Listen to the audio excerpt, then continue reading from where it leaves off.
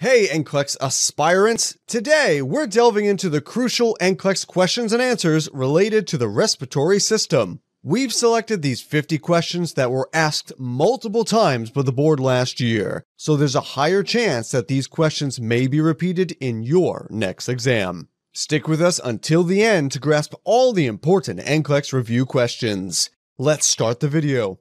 A female client with systemic lupus erythematosus has developed shrinking lung syndrome and is on a prescribed course of prednisone.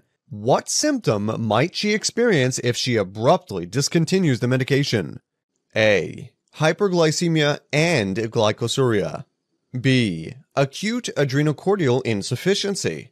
C. Gastrointestinal hemorrhage. D. Restlessness and seizures.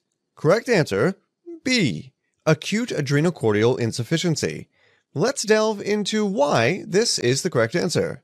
Prednisone is a corticosteroid, and its long term use can suppress the hypothalamic pituitary adrenal HPA axis. This axis is crucial for regulating cortisol production in the body. When a patient abruptly stops taking prednisone, particularly after a prolonged period, it can lead to a sudden drop in cortisol levels. This condition is known as acute adrenocortical insufficiency, a serious health risk. It's important to taper the dose gradually to allow the HPA axis to recover and resume normal cortisol production. This gradual tapering helps prevent the sudden onset of adrenal insufficiency. Other options A, C, and D, hyperglycemia and glycosuria, GI bleeding and restlessness and seizures are common side effects of corticosteroid therapy. However, they are not directly linked to the abrupt cessation of prednisone. A patient with chronic obstructive pulmonary disease, COPD, is prescribed theophylline for management of their condition. The healthcare provider emphasizes the importance of monitoring the patient's serum theophylline level to ensure therapeutic effectiveness and avoid toxicity. What is the therapeutic range for serum theophylline concentration? A. 5 to 10 mcg per milliliter. B. 2 to 5 mcg per milliliter. C. 10 to 20 mcg per milliliter. D. 1 to 2 mcg per milliliter. Here, option C is correct. The normal therapeutic level for theophylline is 10 to 20 mcg per milliliter. Theophylline operates through two primary mechanisms. It blocks adenosine receptors, leading to effects like bronchodilation, and at higher doses, tachycardia, cardiac arrhythmias, seizures, and cerebral vasoconstriction. Additionally, at larger doses, it inhibits phosphodiesterase, increasing CAMP and adrenergic activation, causing elevated catecholamine release. Theophylline toxicity can significantly increase epinephrine and norepinephrine levels, leading to cardiac arrhythmias, metabolic acidosis, hyperglycemia, and hypokalemia. Chronic toxicity can occur from drug accumulation, therefore, monitoring serum theophylline levels is crucial. Interesting fact did you know there's another drug with the same therapeutic serum range? Phenytoin, used for managing epilepsy, also has a therapeutic range of 10 to 20 mcg per milliliter. In an emergency room with a case of acute pulmonary edema, a male patient suddenly sits up, experiencing dyspnea and an oxygen saturation of 85%. Which oxygen delivery method would be best to alleviate these symptoms? A. A simple mask. B. Nasal cannula. C non rebreather mask, D, a face tent. The correct answer is C, a non rebreather mask. To effectively address any question regarding oxygen delivery systems, a thorough understanding of both high flow and low flow oxygen devices is indispensable. We begin with low flow systems, typically used when a patient's respiratory rate and pattern remain stable. It's important to note that in these systems, the actual fraction of inspired oxygen, FiO2, can fluctuate with each breath. Common low flow systems encompass the nasal cannula, simple face mask, and both partial rebreather and non rebreather masks. The nasal cannula is a prevalent choice for mild hypoxia, adjustable between 1 and 6 liters per minute, LPM, correlating to an FiO2 of approximately 24% to 40%. Notably, with each liter increase in O2, FiO2 rises by about 4%. The simple face mask, alternatively, is optimal for delivering moderate oxygen levels, offering FiO2 levels between 35 and 55% at 5 to 10 LPM. The partial rebreather mask, incorporating a reservoir bag, captures exhaled oxygen from the anatomic dead space, beneficial in oxygen conservation. Delivering an FiO2 between 0.6 and 0.8, this mask requires over 8 liters per minute of fresh gas flow to maintain bag inflation and ensure efficient CO2 evacuation. The non-rebreather mask, an advancement of the partial rebreather, includes additional valves for unidirectional gas flow and prevents room air entrainment. This mask can deliver the highest FiO2 of 0.9 to 1.0 at a fresh gas flow of 12 to 15 liters per minute, suitable for severe hypoxia. However, its prolonged use can be uncomfortable and requires careful monitoring to avoid CO2 buildup and suffocation. Shifting to high flow oxygen systems, these are crucial for patients with inconsistent respiratory rates and patterns. The Venturi mask stands out here, especially for COPD patients delivering precise FiO2 levels from 24% to 50%. This category also includes the nebulizer, high flow nasal cannula, and mechanical ventilation, adaptable to a wide array of clinical conditions, particularly in severe cases. Concluding with specialized systems, we have devices like the trach collar, designed for tracheostomy patients. It provides either oxygen or humidified air, with settings similar to the Venturi mask for precise oxygen delivery. Before we move on to the next question, we have urgent news for you. We've meticulously crafted a 100 hour animated NCLEX review crash course. In the initial 30 hours, we comprehensively cover all the crucial NCLEX topics with engaging animations. But that is just the beginning. The remaining 70 hours are dedicated to dissecting 5,000 NCLEX questions through dynamic animations.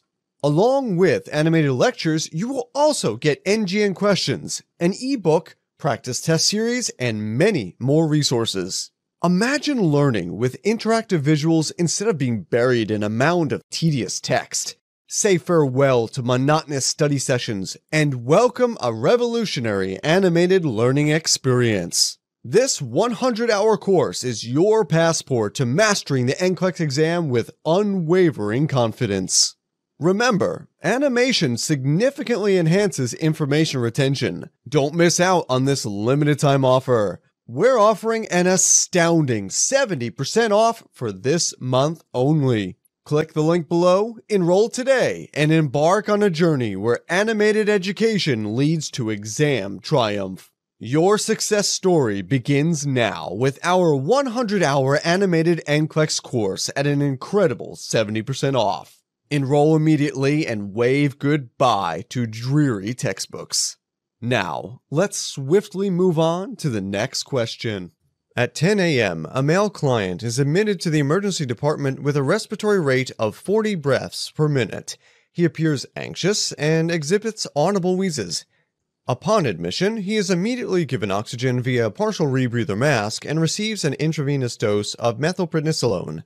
At 10:30 a.m., the client's arterial blood oxygen saturation is measured at 84%, and he continues to wheeze. What should the nurse plan to administer next? A. Salbutamol. B. Propranolol. C. Midazolam. D. Morphine. The correct answer is option A. Salbutamol. Let's understand the rationale behind it. The client is experiencing hypoxemia due to bronchoconstriction, as indicated by the wheezing and a below normal arterial oxygen saturation level of 84%. The most immediate need for the client is bronchodilation. Salbutamol is a beta 2 adrenergic agonist and is effective in inducing dilation of the bronchioles. It can be administered through nebulizations or as a metered dose inhaler and may be used as often as every 30 to 60 minutes until the patient experiences symptomatic relief. The next option to consider is propranolol, which is not suitable for treating bronchial constriction or respiratory problems. Propranolol is primarily used for managing hypertension and certain cardiovascular issues. However, if a patient is suffering from both asthma and hypertension, propranolol is not an advisable choice. The reason for this lies in understanding the different types of beta blockers. This is because beta receptors, which these medications target, are found in both the heart and lungs. In asthma, beta agonists, which activate these receptors, help relax the airways for easier breathing. Beta blockers, on the other hand, block these receptors. While this is beneficial for heart related issues, it can be problematic for the lungs in asthma patients. Blocking these receptors can lead to narrowed airways, potentially worsening asthma symptoms such as shortness of breath, wheezing, and exacerbation of asthma. There are two main categories of beta blockers non selective and selective beta blockers. Non selective beta blockers, like propranolol, affect both the heart and lung receptors and can worsen asthma symptoms. Therefore, they are generally contraindicated in asthma patients. Conversely, selective beta blockers are typically safer for individuals with asthma as they mainly target the heart with minimal impact on the lungs. Selective beta blockers, such as metoprolol, esmolol, atenolol, nebivolol, and bisoprolol are often preferred for asthmatic patients who need a beta blocker. Their safety in asthma patients is due to their selective action on the heart, reducing the risk of aggravating asthma symptoms. Morphine, which depresses the respiratory center, and midazolam, a sedative, could potentially suppress respiratory function in this patient and are not indicated for treating bronchial constriction. Understanding bronchodilators is crucial for managing respiratory conditions, and it's important to be familiar with the three main types beta 2 agonists, anticholinergics, and theophylline. Beta 2 agonists are divided into short acting and long acting forms. The short acting beta 2 agonists, like albuterol and levalbuterol, act quickly to relieve acute asthma symptoms, becoming effective within 15 to 20 minutes and lasting for about 4 to 6 hours. They're often termed as rescue medications due to their rapid onset of action. Long acting beta 2 agonists, such as salmeterol and formoterol, are utilized for the long term control of asthma. Anticholinergics, including ipratropium bromide and tiotropium bromide, block the neurotransmitter acetylcholine and are effective in managing chronic asthma symptoms. They are not designed for quick relief, but offer sustained control of symptoms. Let's transition to the next NCLEX questions and answers. In a COPD patient administered supplemental oxygen through a non rebreather mask, which parameter in the arterial blood gas analysis best reflects the efficacy of the oxygenation therapy? A. pH. B. Partial pressure of arterial oxygen, PaO2. C. Bicarbonate, HCO3. D. Partial pressure of arterial carbon dioxide, PaCO2. The correct answer is option B. The PaO2 value is the primary and most direct measure for assessing the success of oxygen therapy in this context. The PaO2 level helps in determining the adequacy of oxygen supplementation and in making necessary adjustments to the patient's oxygen therapy. This may include modifications to the oxygen delivery system, for example, changing from a non rebreather mask to other devices like a nasal cannula or a mechanical ventilator, as well as adjustments to the flow rate and concentration of oxygen provided. The other listed parameters, while important in overall patient assessment, primarily give insights into the patient's respiratory and metabolic status rather than directly indicating the effectiveness of oxygenation. Before an arterial blood sample is taken for ABG analysis, the Allen test is crucial for ensuring the patency of the radial and ulnar arteries.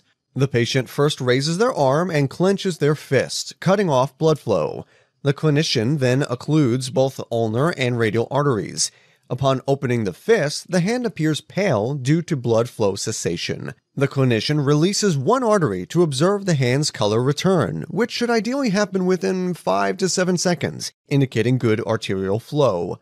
The test is repeated for the other artery.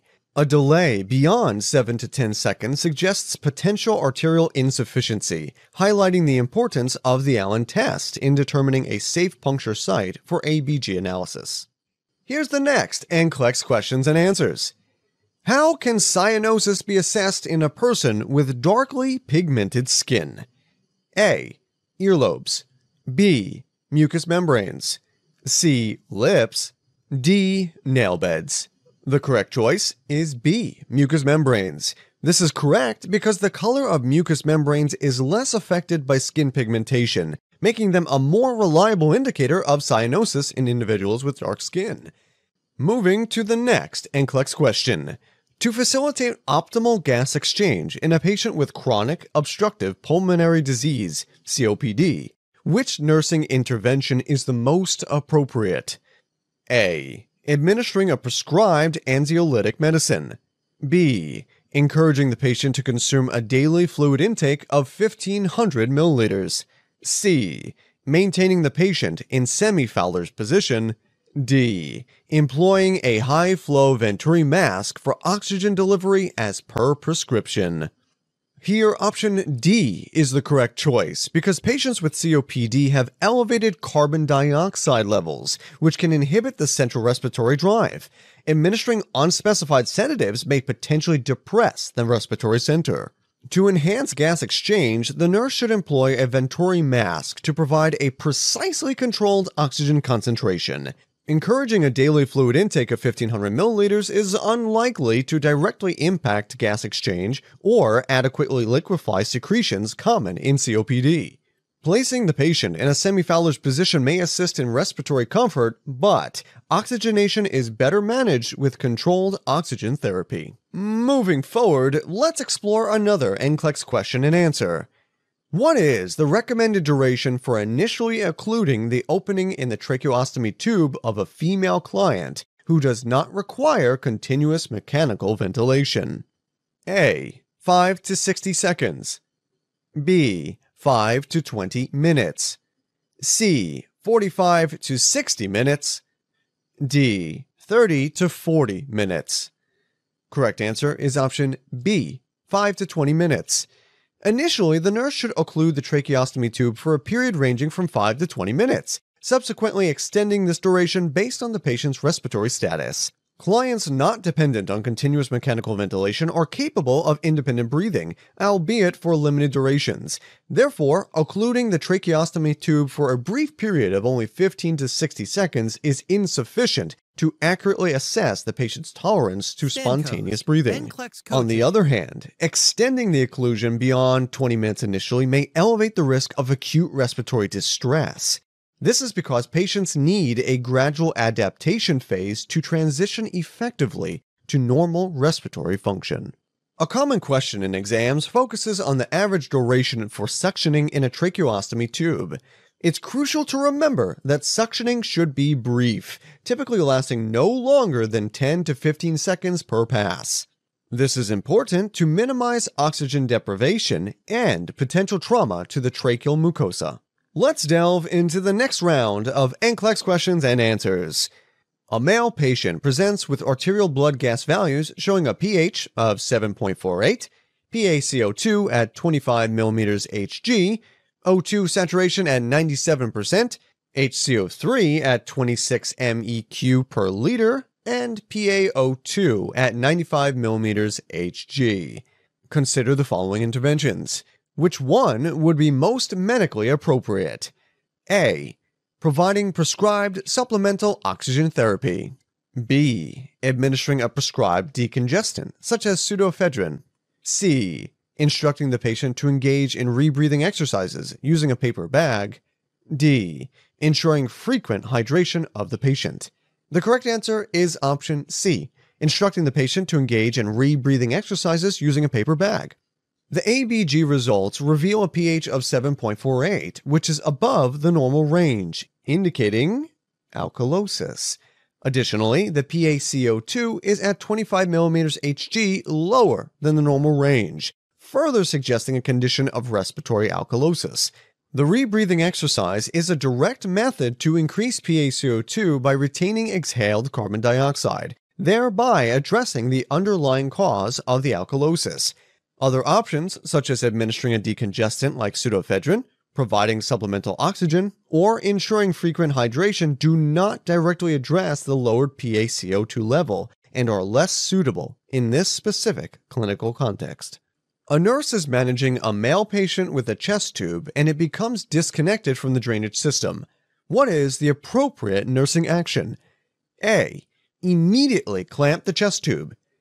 B. Apply an occlusive dressing and promptly inform the physician. C. Secure the disconnected chest tube with tape.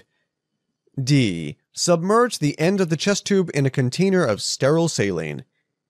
The right answer is option D, placing the end of the chest tube in sterile saline. This prevents air from entering the chest tube and avoids negative respiratory pressure complications. Clamping the chest tube is not recommended due to the risk of developing a tension pneumothorax. Applying an occlusive dressing is indicated if the chest tube is removed from the patient, not when it's merely disconnected from the drainage system. Securing the tube with tape is a preventative measure against disconnection, but is not the correct immediate action once the disconnection has occurred.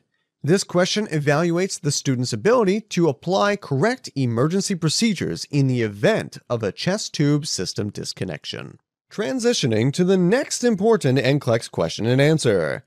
Which test can identify past or present exposure to tuberculosis, but may show a positive result in patients vaccinated with BCG regardless of actual exposure? A. Tuberculin skin test, PPD. B. Chest radiography. C. Lung scan. D. Bronchoscopy. The correct answer? A. Tuberculin skin test, the tuberculin skin test, PPD, is designed to detect both past and present exposure to tuberculosis. It involves administering a purified protein derivative intradermally and then monitoring for a skin reaction. It's important to note that individuals who have received the Bacille Calmette Guerin BCG vaccine may test positive on this test, regardless of actual TB exposure. This is due to the vaccine's impact on the immune response, potentially leading to false positive results. This characteristic differentiates the PPD test from other diagnostic procedures like chest radiography, lung scans, and bronchoscopies in assessing for tuberculosis. Moving on to the next important NCLEX question and answer. A hospital nurse observes wheezing, bradycardia, and a respiratory rate of 10 breaths per minute in a patient with advanced lung cancer. These signs indicate A. Hypoxia, B. Hyperventilation, C. Semi consciousness, D. Delirium. The correct option is A. Hypoxia. The observed symptoms, like wheezing, bradycardia, and a respiratory rate of 10 breaths per minute, suggest a state of hypoxia, which occurs when there is insufficient oxygen reaching the tissues. In advanced lung cancer, respiratory depression can lead to hypoxia, manifesting in these specific signs. The other options are not consistent with the described symptoms.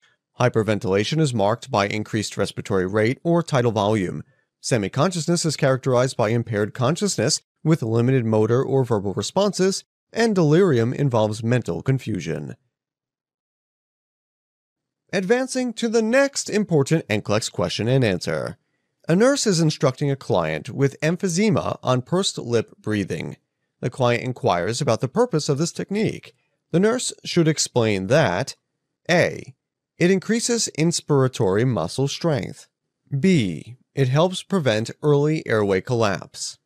C. It prolongs the inspiratory phase of respiration. D. It decreases use of accessory breathing muscles.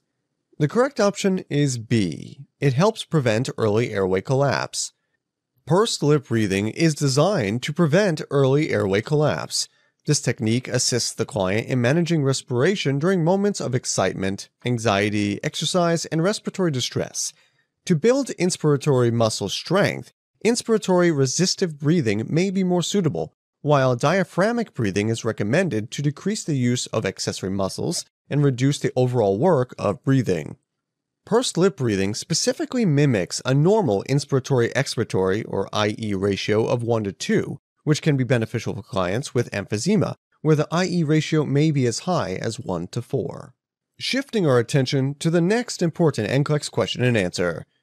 The nurse administers ipratropium bromide as prescribed to a client with emphysema. Which finding indicates that the drug is producing a therapeutic effect? A. Respiratory rate of 20 breaths per minute. B. Dilated and reactive pupils. C. Heart rate of 110 beats per minute. D. Urine output of 40 milliliters per hour. The correct option is A. In a client with emphysema, ipratropium bromide is used as a bronchodilator. A respiratory rate of 20 breaths per minute indicates that the drug has achieved its therapeutic effect, because fewer respirations are needed for adequate oxygenation. Ipratropium bromide does not affect pupil reaction nor urine output. While it may cause changes in heart rate, an increased heart rate of 110 beats per minute is considered an adverse, not therapeutic effect. Progressing to the next important NCLEX question and answer. What is the most common complication of influenza? A. Meningitis. B. Septicemia. C. Pulmonary edema. D. Pneumonia. The right answer is option D. Pneumonia. Pneumonia, whether primary influenza viral pneumonia or secondary to a bacterial infection, is the most common complication of influenza. Stepping into the next important NCLEX question and answer. A male client with myasthenia gravis develops respiratory acidosis due to reduced alveolar ventilation. Which combination of arterial blood gas, ABG values, confirms respiratory acidosis? A. pH 7.35, PaCO2 40 mm per Hg. B. pH 7.28, PaCO2 55 mm per Hg. C. pH 7.40, PaCO2 35 mm Hg. D. pH 5.0, PaCO2 30 mm per Hg. The right answer is option B. pH 7.28, PaCO2 55 mm per Hg. In respiratory acidosis, ABG analysis reveals an arterial pH below 7.35 and partial pressure of arterial carbon dioxide, PaCO2, above 45 mm per Hg. Therefore, the combination of a pH value of 7.28 and a PaCO2 value of 55 mm per Hg confirms respiratory acidosis. Advancing to the next important NCLEX question and answer. For a client with a chest tube connected to a closed water seal drainage system, the nurse should include which action in the plan of care? A. Keeping the collection chamber at chest level. B. Measuring and documenting the drainage in the collection chamber. C. Stripping the chest tube every hour. D. Maintaining continuous bubbling in the water seal chamber. The right answer is option B. The nurse should measure and document the amount of chest tube drainage regularly to detect abnormal drainage patterns, such as may occur with a hemorrhage or a blockage. Continuous bubbling in the water seal chamber indicates a leak in the closed chest drainage system, which must be corrected. The nurse should keep the collection chamber below chest level to allow fluids to drain into it. The nurse should not strip chest tubes because doing so may traumatize the tissue or dislodge the tube. Transitioning to the next important NCLEX questions and answers. In caring for a male client who has recently undergone a tracheostomy, the first priority is A. Helping him communicate. B. Keeping his airway patent. C. Encouraging him to perform activities of daily living. D. Preventing him from developing an infection. The correct answer is option B because maintaining a patent airway is the most basic and critical human need. All other interventions are important to the client's well being, but not as important as having sufficient oxygen to breathe. Moving forward to the next important NCLEX questions and answers. Which condition serves as a predisposing factor for respiratory alkalosis in a female client? A. Narcotic overdose. B. Type 1 diabetes mellitus. C. Extreme anxiety. D. Myasthenia gravis. The right answer is option C. Extreme anxiety can lead to respiratory alkalosis by inducing hyperventilation, resulting in excessive loss of carbon dioxide, CO2. Additional conditions contributing to respiratory alkalosis include fever, heart failure, injury to the brain's respiratory center, overventilation with a mechanical ventilator, pulmonary embolism, and early salicylate intoxication.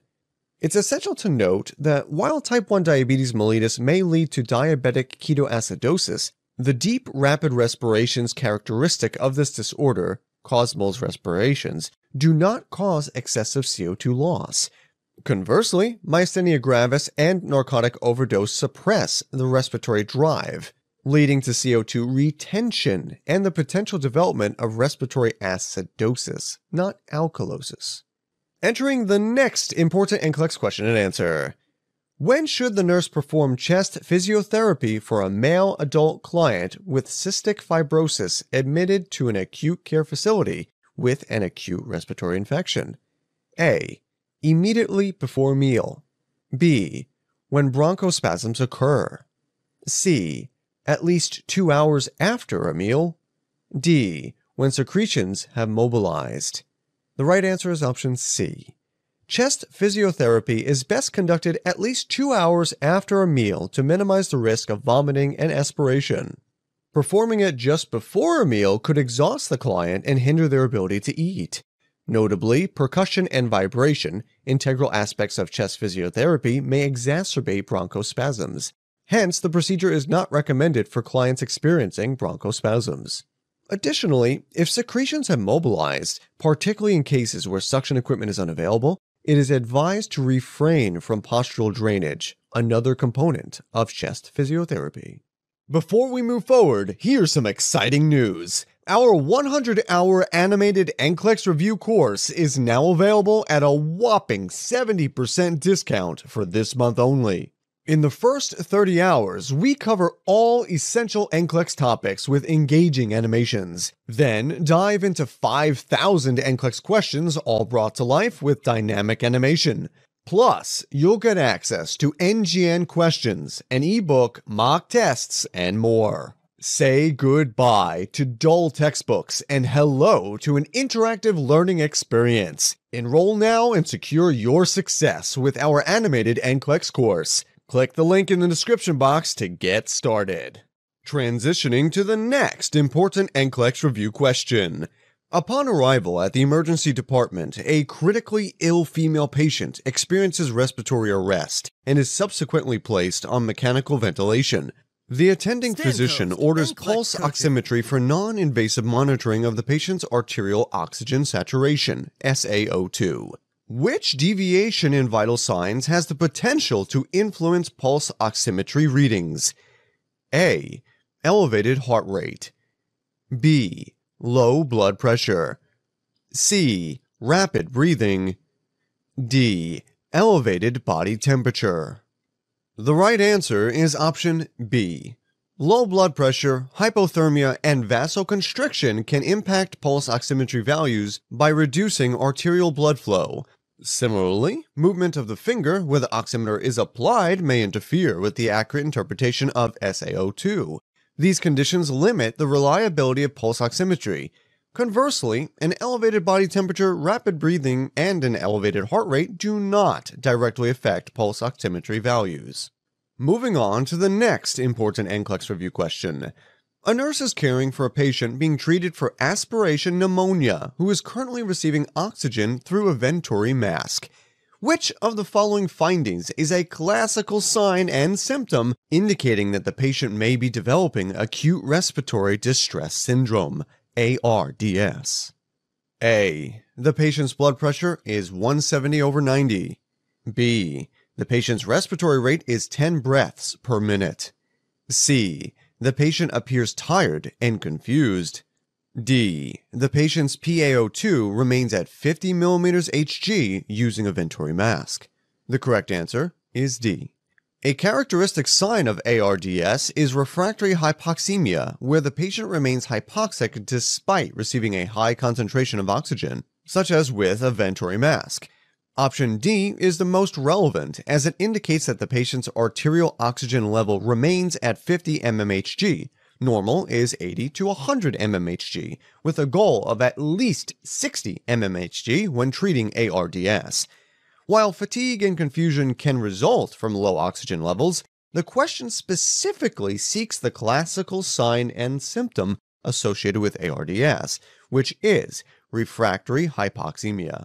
Advancing to the next important NCLEX review question. As a nurse, during the exudative phase of acute respiratory distress syndrome, ARDS, we closely monitor the patient's condition. Specifically, we focus on the alveolar type 2 cells responsible for producing surfactant. Now, what happens if these crucial cells become damaged? A. Formation of upper airway blockage. B. Onset of pulmonary edema.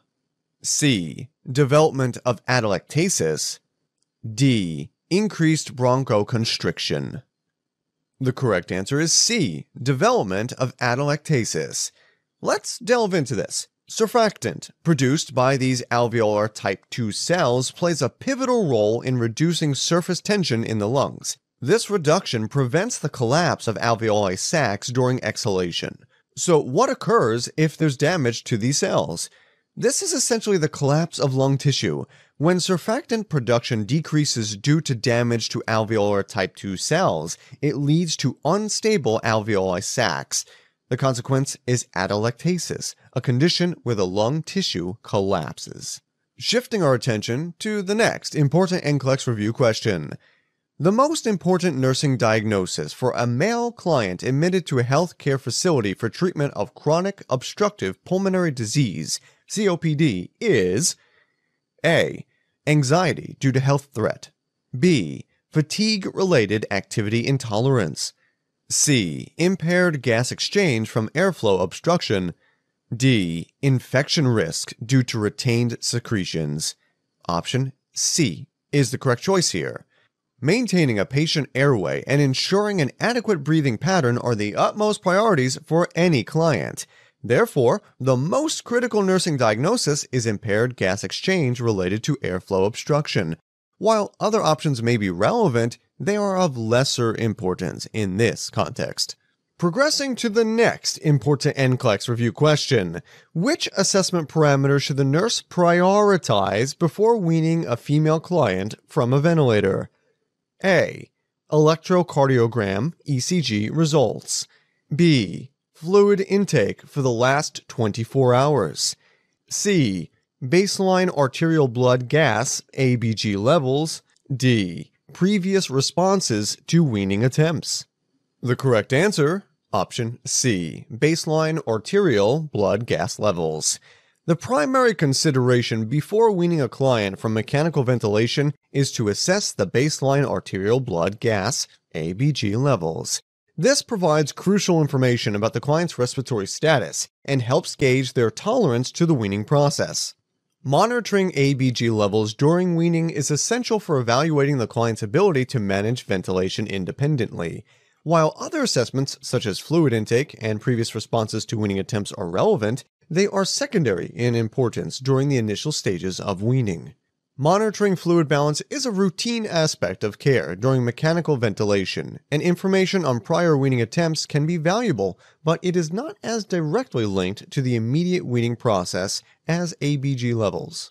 Stepping into the next important NCLEX review question. Following a bronchoscopy, a female client has returned to the nursing unit. Which nursing intervention would the nurse implement for this client? A. Administering glycopyrrolate. B. Administering small doses of midazolam as an anti anxiety drug. C.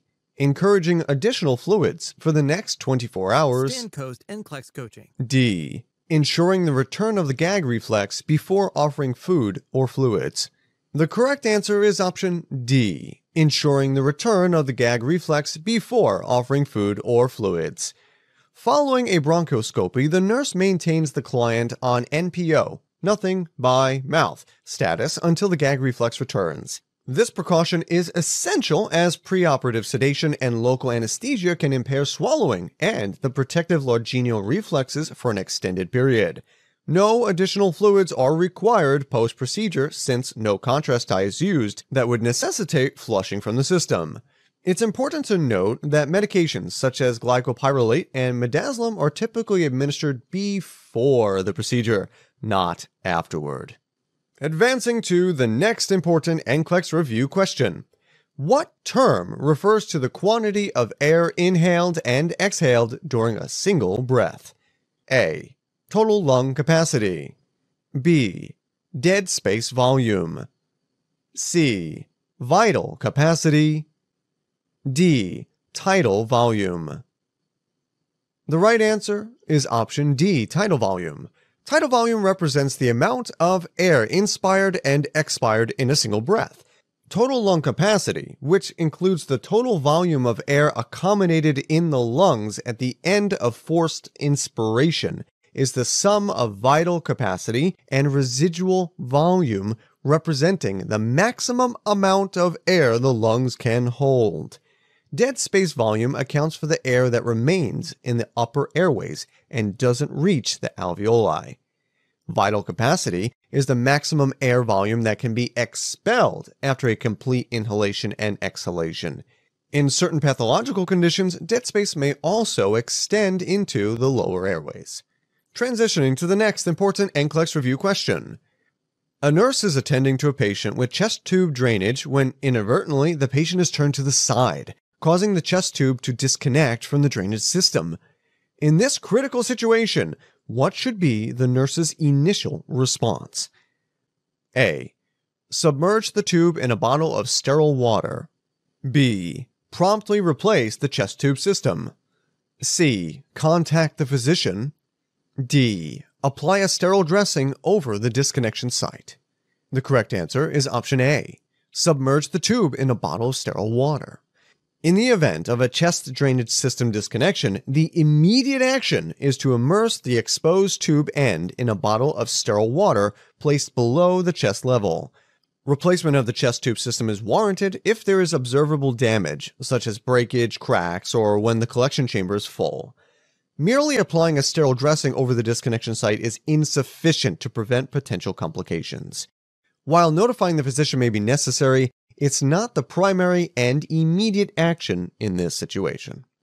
Moving forward to the next important NCLEX review question.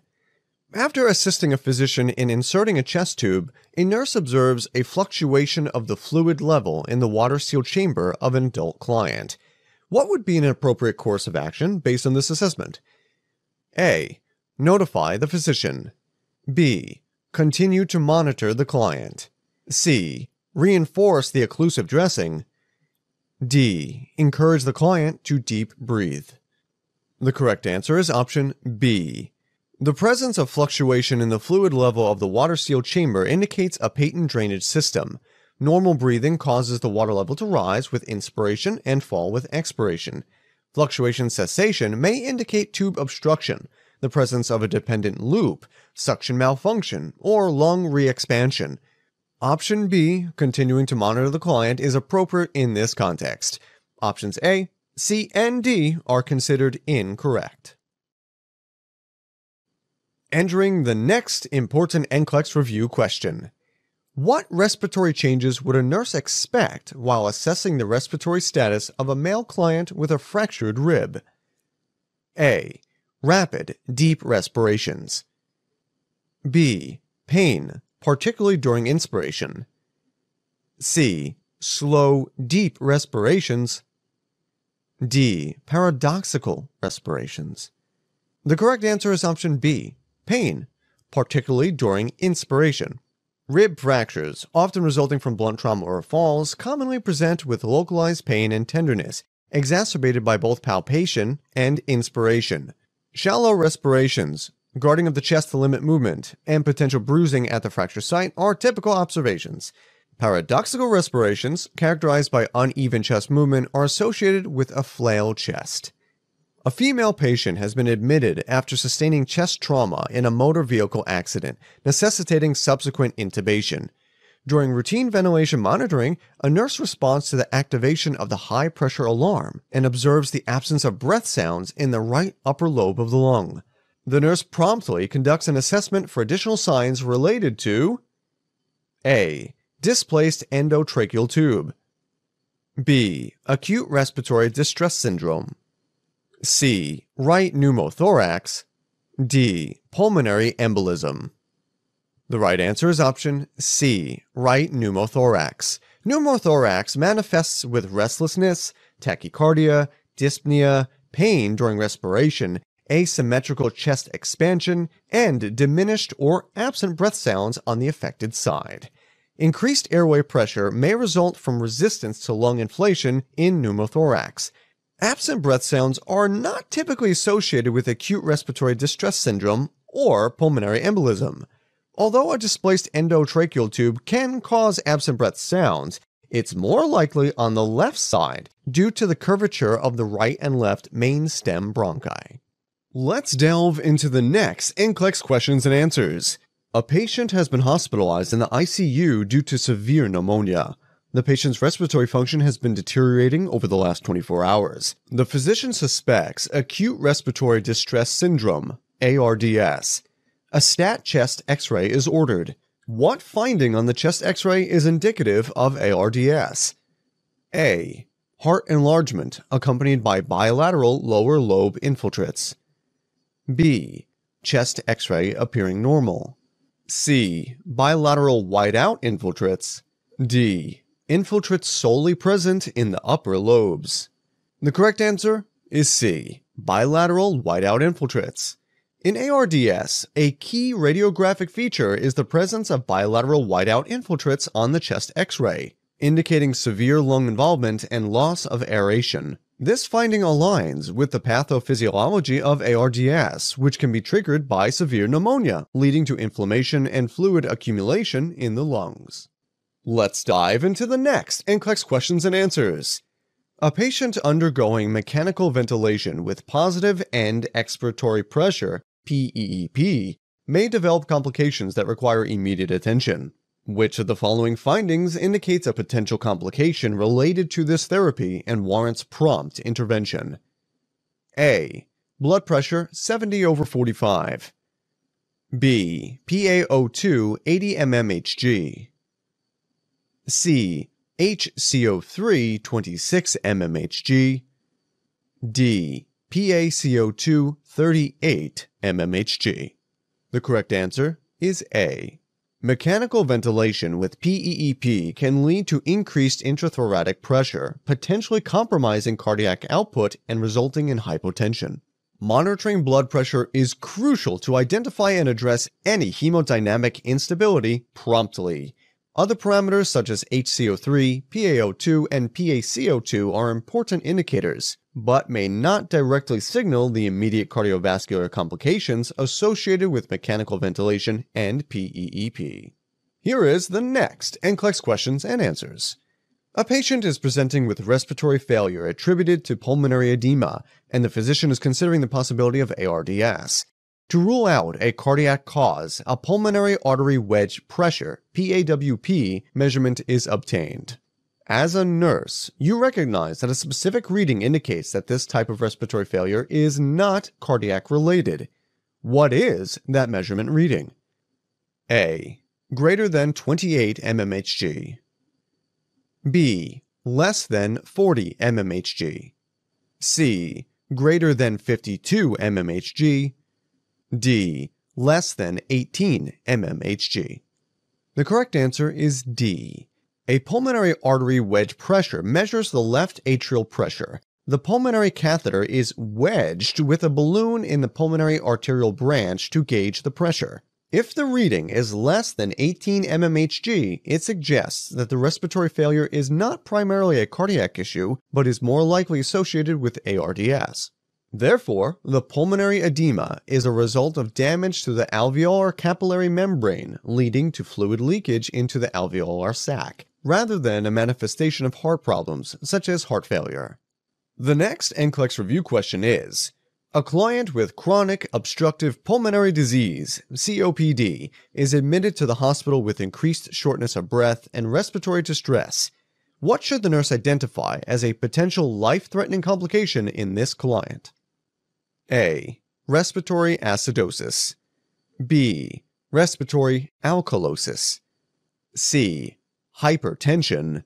D. Hyperventilation. The answer? A. Respiratory acidosis. In individuals with COPD, the ability to eliminate carbon dioxide is compromised due to airway obstruction and reduced lung function. This impairment leads to the retention of carbon dioxide, causing respiratory acidosis. Elevated carbon dioxide levels result in increased blood acidity, posing a risk of life threatening complications, such as respiratory failure and respiratory arrest. It is crucial for healthcare providers to promptly address respiratory acidosis in COPD patients to prevent severe outcomes. Let's explore the next NCLEX question. A client diagnosed with asthma has been prescribed a short acting beta agonist, SABA inhaler, such as albuterol. Which of the following actions by the client demonstrates the correct utilization of the inhaler?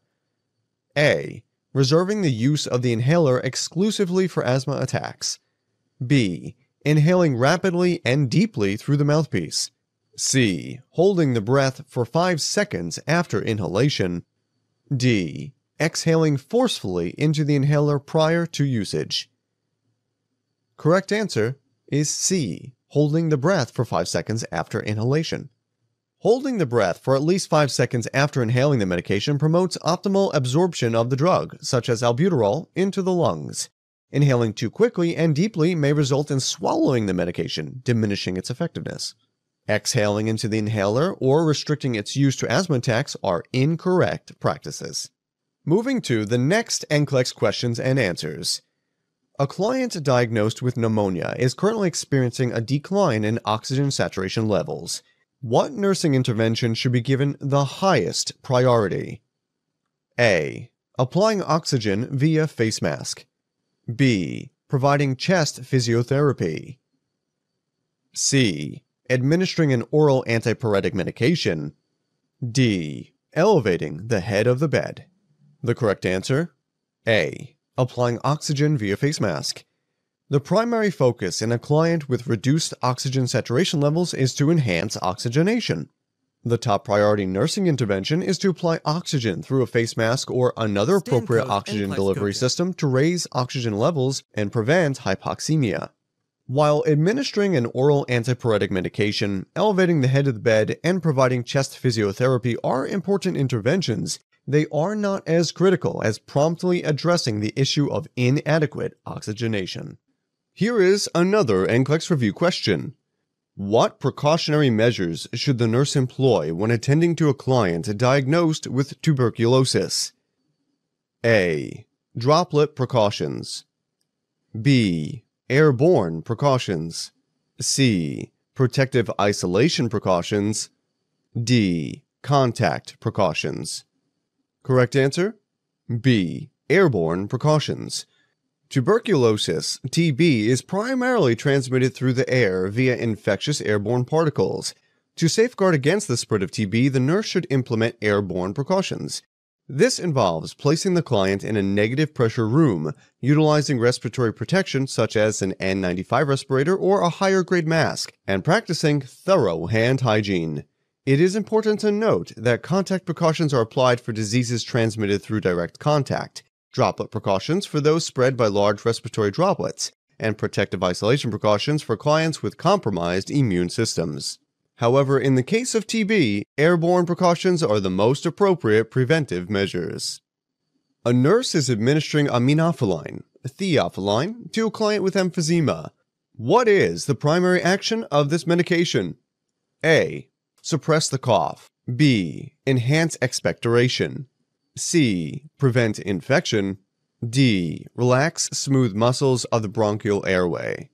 Correct answer? D. Relax smooth muscles of the bronchial airway. Aminophylline belongs to a class of medications called bronchodilators. These drugs work by influencing enzymes known as phosphodiesterase, specifically inhibiting type 3 and type 4 isoenzymes. This inhibition leads to increased levels of cyclic adenosine monophosphate, CAMP, and cyclic 3 and 5 guanosine monophosphate within the tissues. The resultant effect is the relaxation of smooth muscles in the bronchial airway. Understanding the terminology associated with respiratory medications is essential. Antitussives are drugs designed to suppress the cough reflex. They act on the cough control center in the medulla to mitigate persistent coughing, preventing muscle strain and reducing irritation in the respiratory tract. Expectorants, on the other hand, such as guaifenesin, work by thinning and loosening mucus in the airways. These drugs aid in clearing congestion and making breathing easier by facilitating the removal of excess mucus from the respiratory system. In the context of emphysema, a condition characterized by airway obstruction and reduced elasticity by the lung tissue. Bronchodilators like aminophylline play a crucial role. By relaxing the smooth muscles in the bronchial airway, these medications help alleviate symptoms and improve airflow, contributing to enhanced respiratory function in individuals with emphysema. Next, NCLEX questions and answers.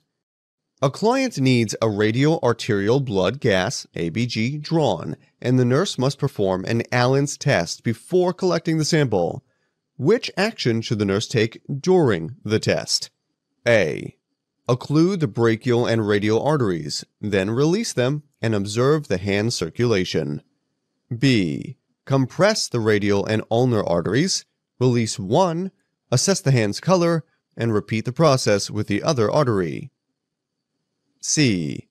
Apply pressure to the radial artery and monitor for color changes in the affected hand. D. Apply pressure to the ulnar artery and observe for color changes in the affected hand. The correct answer is B. Compress the radial and ulnar arteries, release one, assess the hand's color, and repeat the process with the other artery. Before obtaining an ABG, the nurse performs an Allen's test to assess collateral circulation in the hand. This involves compressing both the radial and ulnar arteries while the client clenches and releases their fist, causing the hand to become pale.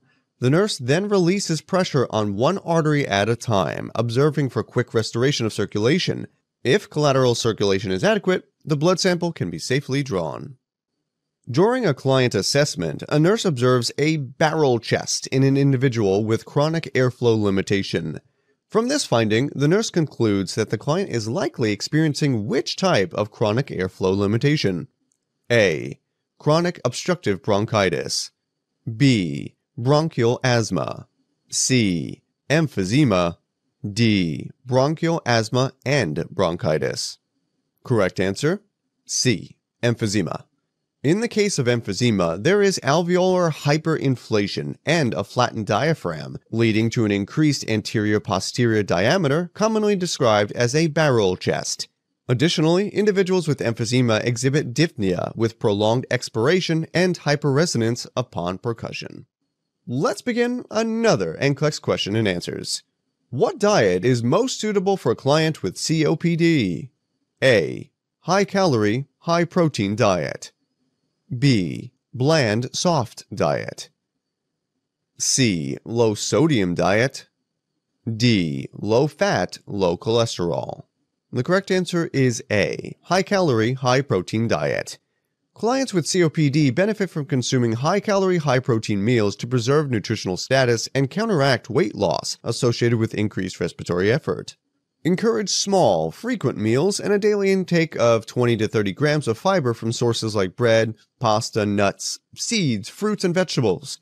Incorporate a good protein source at least twice daily to support respiratory muscle strength, such as milk, eggs, cheese, meat, fish, poultry, nuts, and dried beans or peas.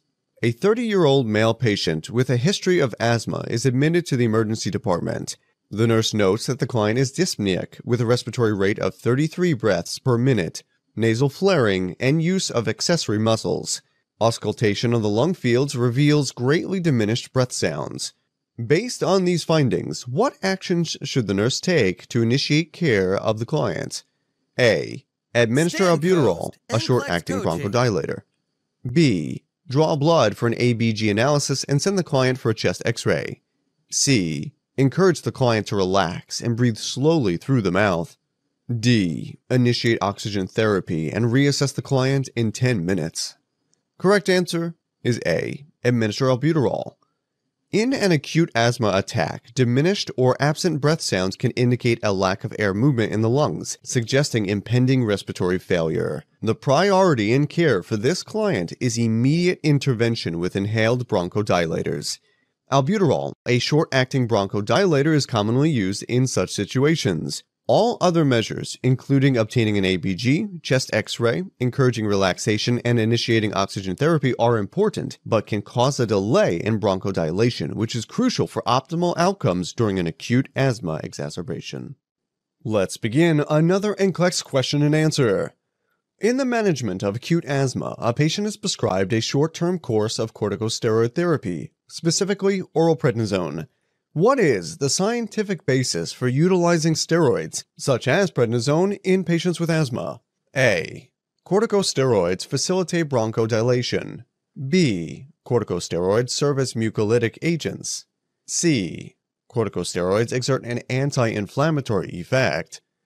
D. Corticosteroids prevent the onset of respiratory infections. The correct answer is C. Corticosteroids exert an anti inflammatory effect. Oral corticosteroids are employed in asthma management due to their anti inflammatory properties.